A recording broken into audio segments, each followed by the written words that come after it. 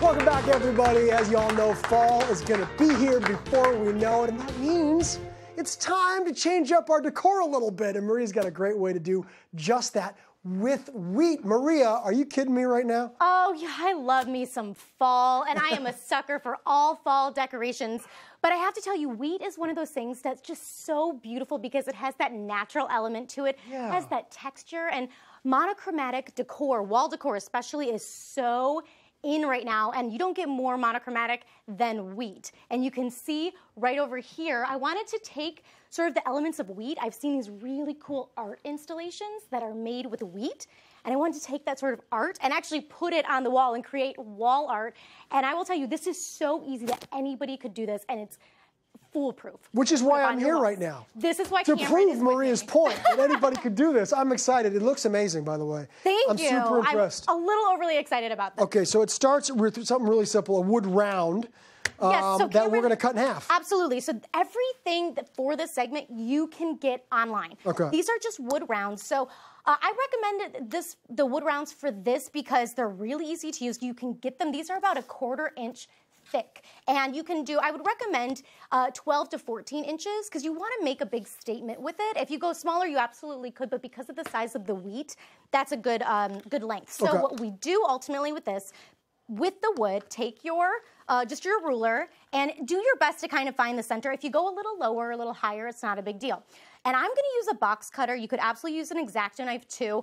I've scored this a couple times already, and what I mean by that is you just want to go through gently and push through. And we've done this, so you should be able to do it enough where it breaks apart like this.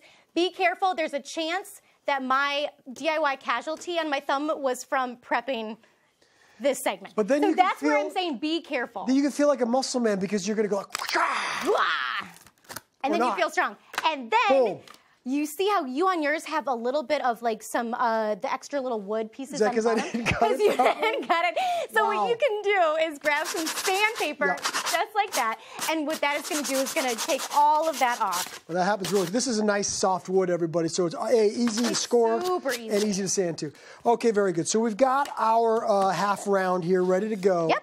Uh, but now we want to, you know, we don't want the wheat kind of all sticking out in all different directions. So you've got a great little technique to make sure it's nice and even. I do. So I did this with a process of elimination because I really wanted that structural element to it. I wanted it to look really, really pretty. Okay. So, um, and just as a side note, I'm going to set this aside, but if you can't find the wood, cardboard rounds, get them in the bakery supply area.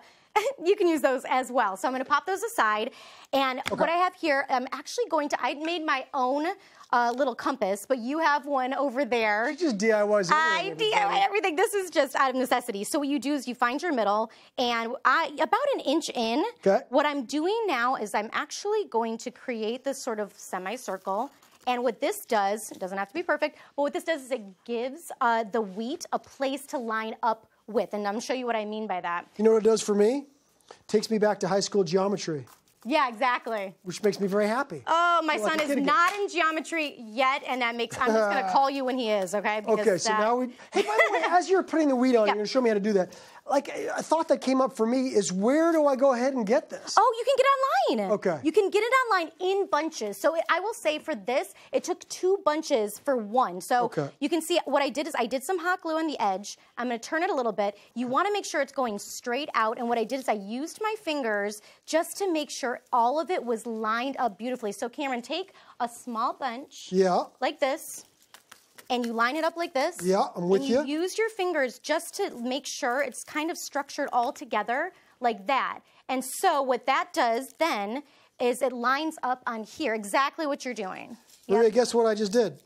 Tell I me. got my first hot glue burn of the season. I burnt myself a couple times on this. Listen, we are a little rusty. We need to get back in our DIY department. and can I tell everybody exactly why this, this DIY is extra special for me? My mom was actually born on and raised on a wheat farm in uh, central Canada. So this would be a great, This is for it'd be a great little Christmas present for her, don't you think? It would be a wonderful present for Yeah. her, absolutely. Think so. And so, as you see, you you keep going through and doing this. I'm going to swap to one because I want to Okay. give you.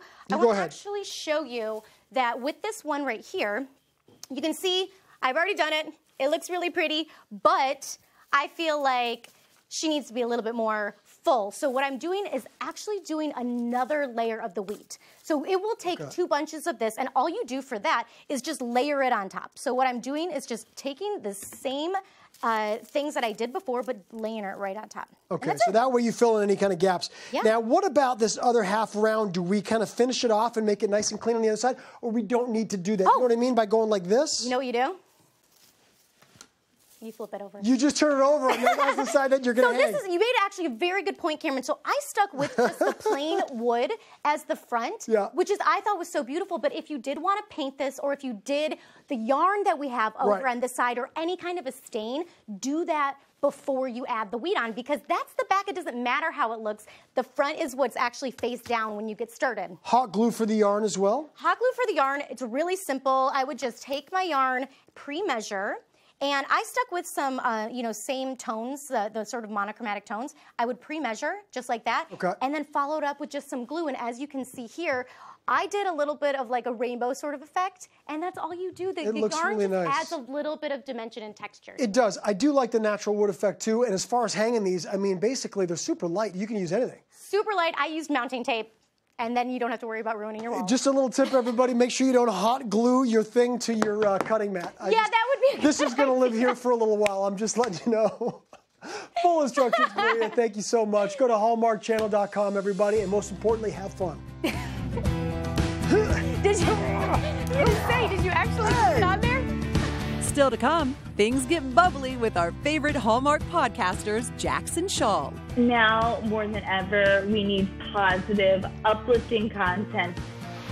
And Ken goes to the head of the class with his clever homeschool organization cart. I already feel less stressed. I love this.